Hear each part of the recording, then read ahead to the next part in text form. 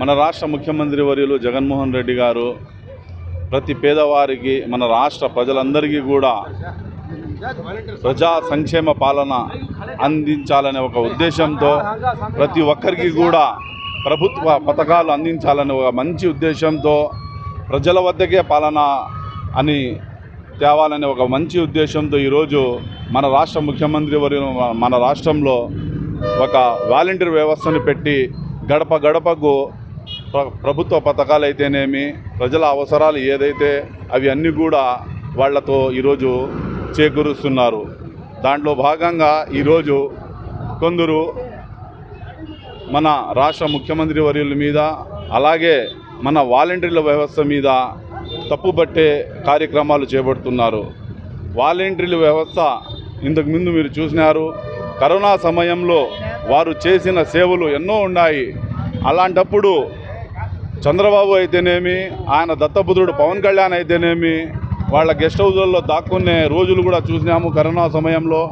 అలాంటి సమయాల్లో మనం చూసుకుంటే వాలంటీ వాలంటీర్ల వ్యవస్థ అనేది ప్ర ప్రజలకి మరి ప్ర- ప్రభుత్వానికి వారధిలాగా పనిచే వారధిలాగా పనిచేసినారు.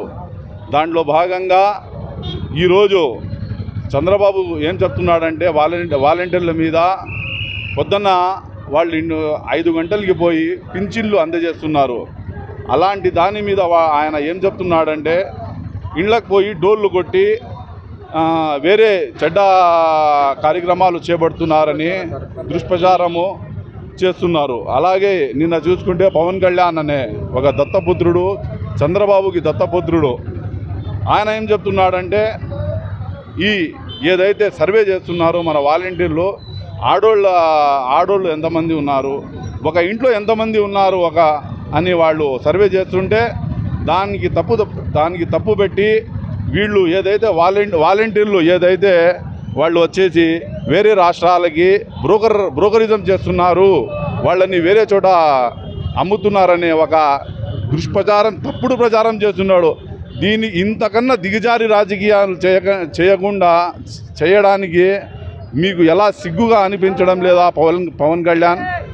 నేను ఒకటే చెప్తున్నాను మా రాష్ట్ర ముఖ్యమంత్రి వర్యులు అలాగే మా వాలంటీర్ల వ్యవస్థ ప్రజలకి ప్రభుత్వానికి వారధిలాగా పనిచేస్తున్నారు.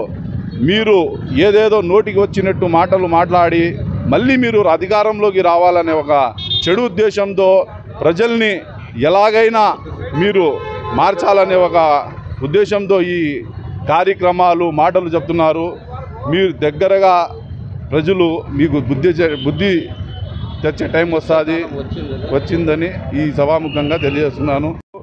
మన రాయచోటి మున్సిపాలిటీ వాలంటీర్లతో పాటు ప్రజాప్రతినిధులు కూడా దీంతో ఇది చేసి చంద్రబాబు నాయుడుది అలాగే దత్తపుత్రుడు పవన్ కళ్యాణ్ది దిష్టిబొమ్మను దగ్ధం చేయడం అనేది ఇంకో విషయం అంటే పవన్ కళ్యాణ్ అనే వ్యక్తి వాలంటీర్ల మీద పదే పదే పదే పదే వాలంటీర్లనే తిట్టడం వానికి ఇదే నైజం అయిపోయింది ఇది ఇది అంతా గమనిస్తున్న రాష్ట్ర ప్రజలందరూ కూడా పవన్ కళ్యాణ్ మళ్ళీ చంద్రబాబు నాయుడిని బుద్ధి చెప్ప చెప్తారని ఆశిస్తూ అలాగే వాళ్ళకి క్షమాపణ క్షమాపణ చెప్పాలనే ఈ డిమాండ్ కూడా చేస్తూ ఈ సభను ఇది చేస్తున్నాం.